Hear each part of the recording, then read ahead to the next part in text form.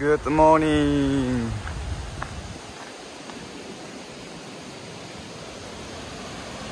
今日は尾瀬沼山荘へ70キロ牧歌していきます。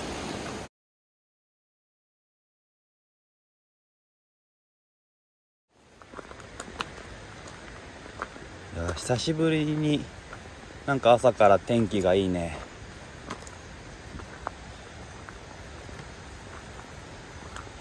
天気が良くてもこの一ノ瀬から尾瀬沼に行くこの道はあの森だからね日陰になってるからで左側に川も流れてるし結構ね快適に歩けます。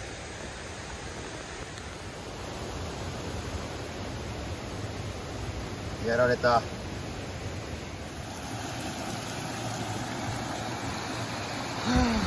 回目の休憩。こういうね川とかで休むとね風が抜けて風が冷たくて超気持ちいいから。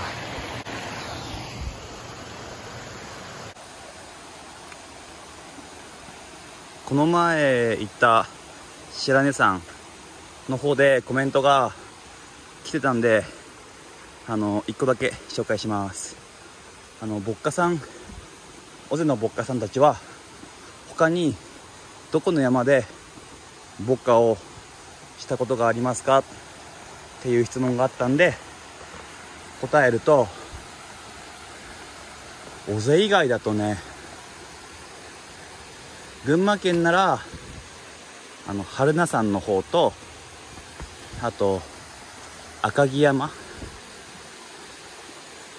あとは名前がない、まあ、電波塔とかのあのバッテリーを背負うとかそういう風なこ牧歌はしたことあります。で県外で言うと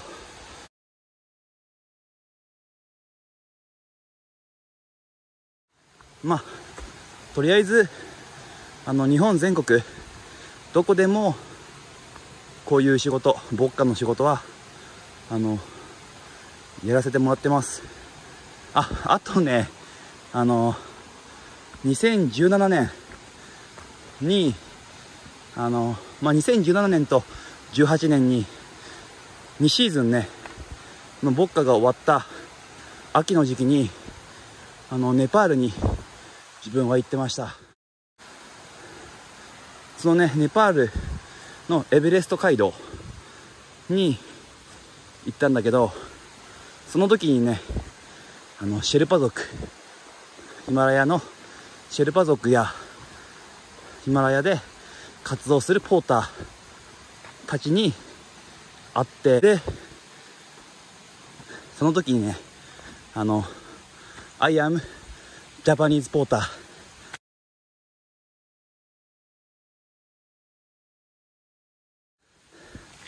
トライ OK って言ってあの1日だけあのポーターのヒマラヤのポーターのお仕事をさせてもらったこともあります。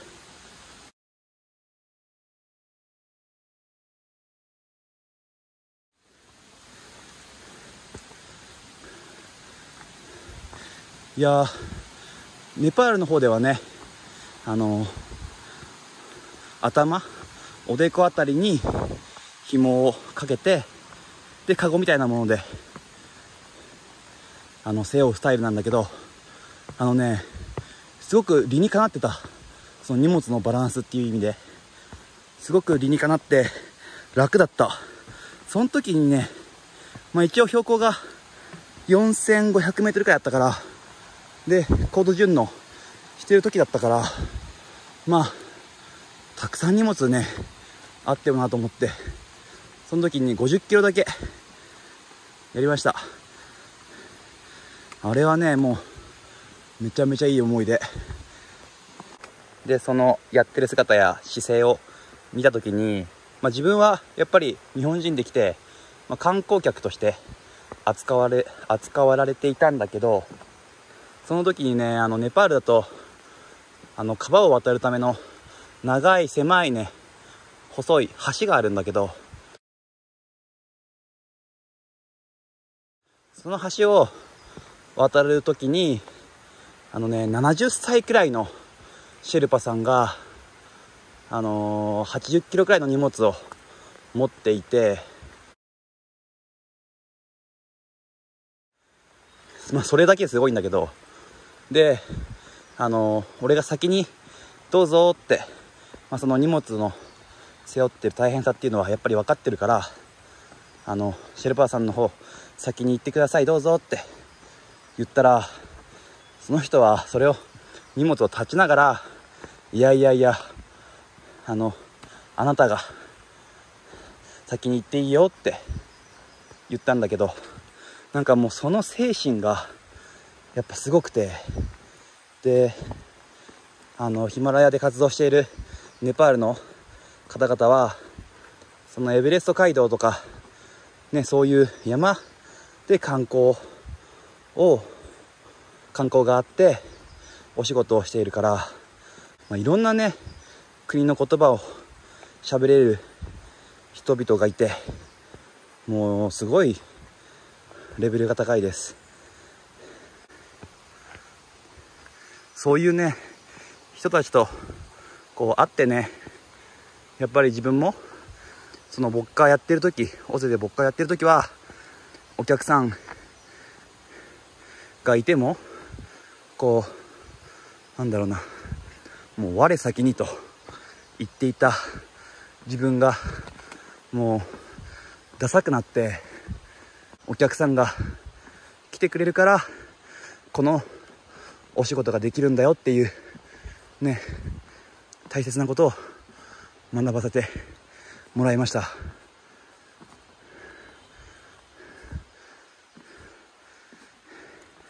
そのヒマラヤ山脈でもオゼボッカは通用する。あの高度順応さえできていれば。道もいいし。うん。全然通用すると思うね。まあそんなことがあってこの YouTube のアカウントの名前がジャパニーズポーターとなっています。オゼボッカ。メインはオゼでやってるオゼボッカだけれどもジャパニーズポーター世界でも絶対通用できる。そんな意味が込められています。毎日ね日記をつけてるからあの何月何日マー君はどこで何をしてましたかっていう質問にも答えられます。平日のこっちの道は今岩清水。お客さん少ないね。でもあの和夫さんと対談した時にねこっちがやっぱりメインで尾瀬といえば尾瀬沼だったって話をね聞いたりとかして歴史をね知ればなんかこの道もまた違って見えてきます。気持ちいいね。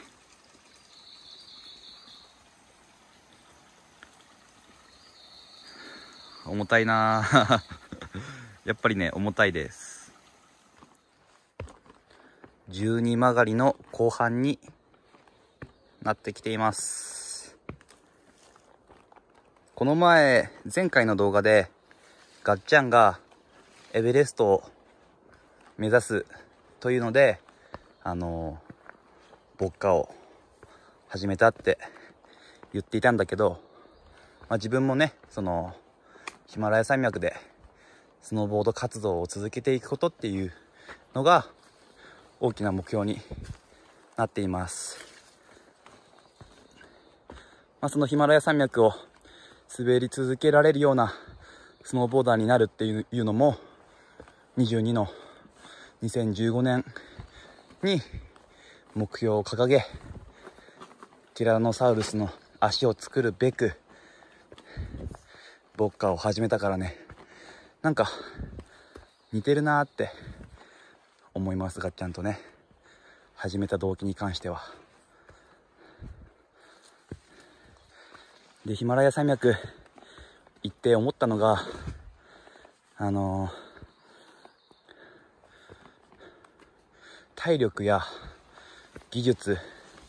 だけではね、ない何かすごい神秘的な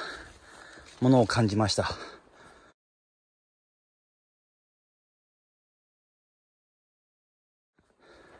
まあ、っていうのは、やっぱりね、そこに呼ばれるか呼ばれないかって結構大事だなって思って、やっぱそういった時に、その自分も、あのまあ、冬ね、スノーボードで山をね、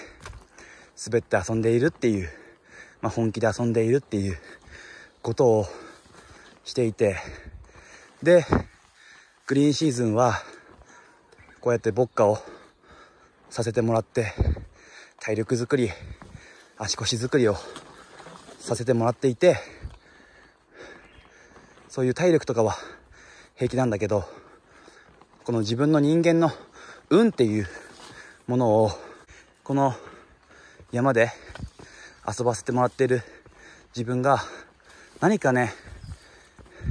恩返しができることはないかって考えた時にねあの2017年にあの世界世界がミツバチの日を作ったんだよねワールドビーデイズ5月20日です。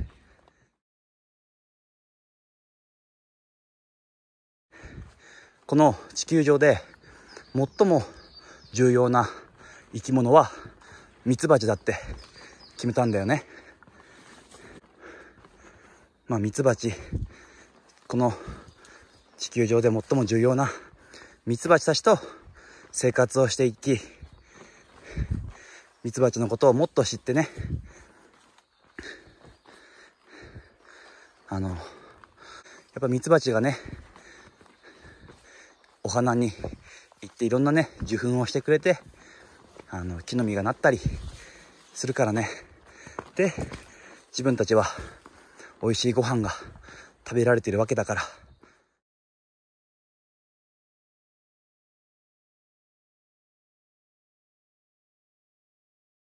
三平峠着きました。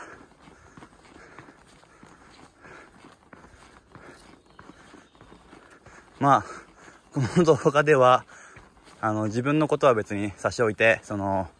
こうやってね、喋りながら、思い出にね、浸ったりとかして、会話をしながらね、歩くと、とっても楽に登ることができます。こっから下りだから、まあ気をつけながら、この前のガッチャンと健三が言っていた三義山木を使いながら下って尾瀬沼山荘へ。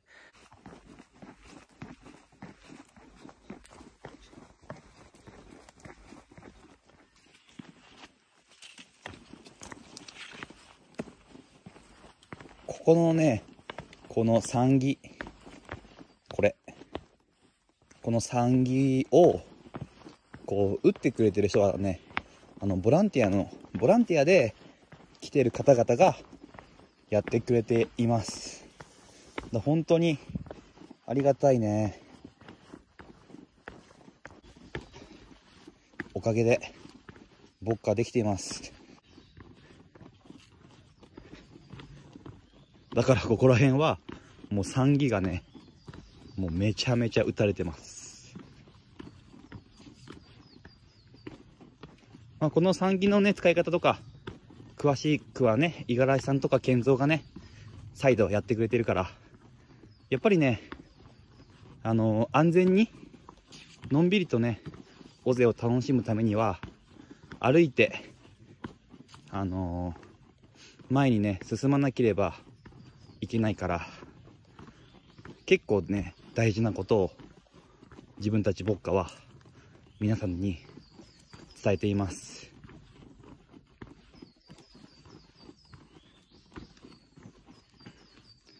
ここら辺からね、尾瀬沼がだんだん見えてきて、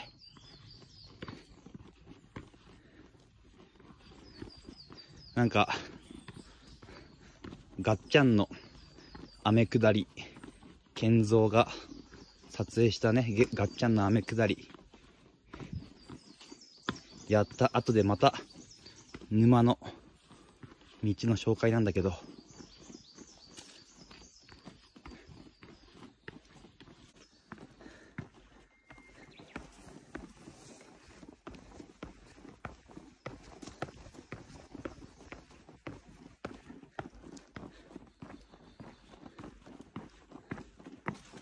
はい、到着しました。